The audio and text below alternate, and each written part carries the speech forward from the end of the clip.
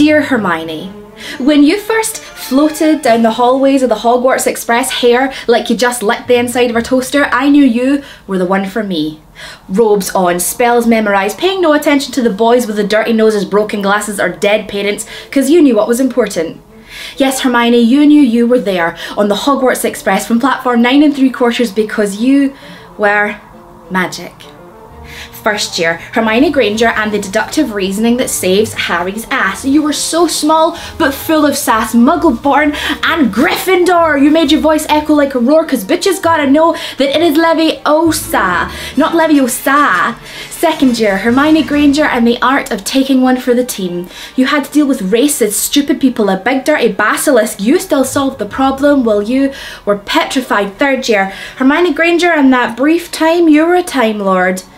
Determined to fit all your learning into a little hourglass with so much class you refused to grass up Professor Lupin just for being a werewolf fourth year, Hermione Granger, and the epiphany that you can be both hot and smart. You made it clear that you are no one's afterthought, only idiots leave you to be last resort fifth year.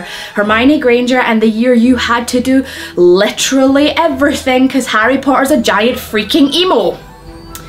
Dumbledore's army came to be because you gathered a small motley crew of others who knew the only way to do what was right was to be prepared to stand and fight sixth year, Hermione Granger and the danger of copying someone else's homework.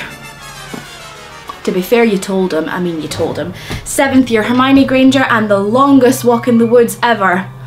Someone let Harry pick the route. Followed by a fight to the death, all in the name of what's good, you gave up everything for hope of a better world. You were always the best friend and never the girlfriend. Your first love was always books. You never let anyone tell you that who you are was wrong. And in a world full of J.K. Rowlings, we needed to hear that, dear Hermione. You made this little girl sitting alone with a book in her lap. No, you can sit alone with a book in your lap and still be the hero of your story, dear Hermione. You made this teenager understand that the only thing more important than your education is your bravery and your kindness, dear Hermione. You made this woman understand that no matter how many of them come for you, there will always be daughters of witches that they forgot to burn.